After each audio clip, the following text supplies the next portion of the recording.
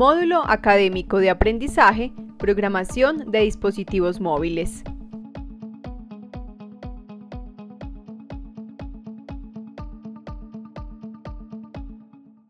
Cuando se trata de elegir un sistema operativo móvil,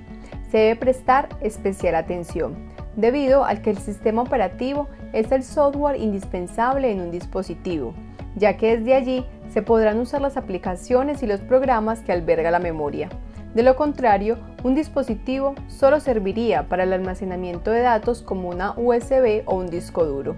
Este sistema es el encargado de ejecutar un sinnúmero de procesos tendientes a la administración de los recursos, que en este caso son mucho más limitados, de todo el sistema.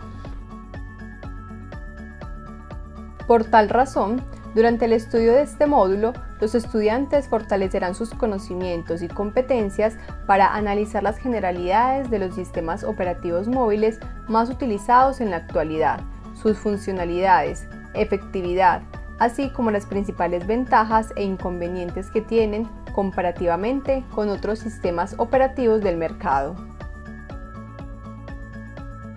En esta medida, los conceptos aprendidos durante este módulo serán aplicados al momento de desarrollar software para dispositivos móviles, donde se debe considerar que se pueden presentar diversos tipos de desarrollo, algunos más complejos que otros, en donde de acuerdo a las necesidades de los usuarios es probable que se requiera de mucho más rendimiento del sistema operativo y además se debe tener en cuenta que la programación para dispositivos móviles suele hacerse en el lenguaje nativo de cada sistema operativo. Debido a esto se debe reescribir la aplicación